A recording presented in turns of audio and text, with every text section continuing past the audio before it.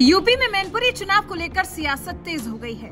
बयानबाजी लगातार हो रही है। ये सीट समाजवादी पार्टी और बीजेपी दोनों के लिए ही बहुत महत्वपूर्ण है, क्योंकि ये सीट सपा के लिए मुलायम सिंह यादव की विरासत है और बीजेपी के लिए एक चैलेंज ऐसे तो मैनपुरी चुनाव को लेकर दोनों पार्टियाँ लगातार एक दूसरे पर निशाना साध ही रही थी, लेकिन अब नज़ारा बदलता हुआ नज़र आ रहा है। जहाँ यूपी के डिप्टी सीएम केशव प्रसाद मौर्य ने मुलायम सिंह यादव की जमकर तारीफ़ की है, चलिए आपको भी बताते हैं कि उन्होंने क्या कुछ कहा है। दरअसल यूपी विधान परिषद शीतकालीन सत्र की कार्रवाई में डिप्टी सीएम केशव प्रसाद मौर्य ने मुलायम सिंह यादव की याद में काफ़ी कुछ कहा।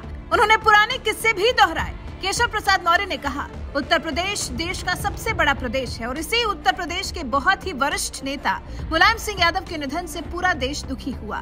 वो ऐसे व्यक्ति थे जिनका सम्मान सभी दल के नेता करते हैं। आगे उन्होंने कहा, वो बहुत साहसी नेता थे और ऐसे परिवार में जन्म लेकर, एक ऐसे क्षेत्र से निकलकर उत्तर प्रदेश की राजनीति में सबसे बड़ा स्थान हासिल किया और साथ साथ देश के रक्षा मंत्री के रूप में उन्होंने जो योगदान दिया है, उसे कभी भुलाया नहीं जा सकता है। वो ज़मीन से जुड़े नेता थे, इसलिए उन्हें धरती पुत्र के नाम से भी संबोधित किया जाता था। केशव प्रसाद मौर्य ने पूर्व मुख्यमंत्री मुलायम सिंह यादव पर कहा, वो ज़मीन से जुड़े नेता थे। आपातकाल के दौरान 19 महीने जेल में रहे। 1960 में राजनीतिक जीवन की शुरुआत की। आगे उन्होंने मुलायम सिंह यादव को लेकर एक किस्सा सुनाया और कहा कि, चुनाव में हारने के बाद भी भाजपा के प्रदेश अध्यक्ष के तौर पर मुलायम सिंह यादव ने मुझे शाबाशी दी। वो ऐसे नेता थे जो बड़े दिल वाले थे। उन्होंने विपक्षी नेताओं को भी आशीर्वाद दिया। छोटे मन से कोई बड़ा नहीं होता, ये उन्होंने सिद्ध किया।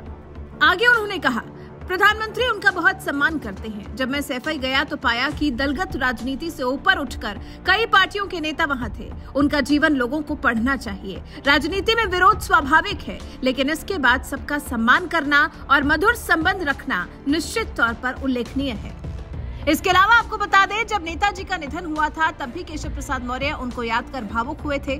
उन्होंने ट्वीट करते हुए लिखा था, सपा पार्टी के संस्थापक व वरिष्ठ राजनेता एवं उत्तर प्रदेश के पूर्व मुख्यमंत्री श्री मुलायम सिंह यादव जी का निधन अत्यंत दुखद है। उनका निधन राजनीतिक जगत के लिए अपूर्णीय क्षति है। ईश्वर दिवंगत आत्मा को शांति प्रदान करे एवं परिजनों तथा समर्थकों को यह असीम दुख सहन करने की शक्ति दे। वहीं जब नेताजी के निधन के बाद मैनपुरी में चुनाव की बात आई थी, तभी केशव प्रसाद मौर्य ने बताया था कि उन्होंने नेताजी के सम्मान में कभी भी उनके चुनावी क्षेत्र में प्रचार नहीं किया था। उन्होंने कहा, हम लोगों के मन में नेताजी के प्रति कितना सम्मान है, उसको इस बात से समझ सकते हैं कि हम लोगों ने नेताजी के चुनाव क्षेत्र में 2014 और 2019 में कभी प्रचार नहीं किया। अब बात करें मैनपुरी चुनाव की तो यूपी की मैनपुरी लोकसभा सीट और रामपुर खतौली विधानसभा सीट पर मतदान जारी।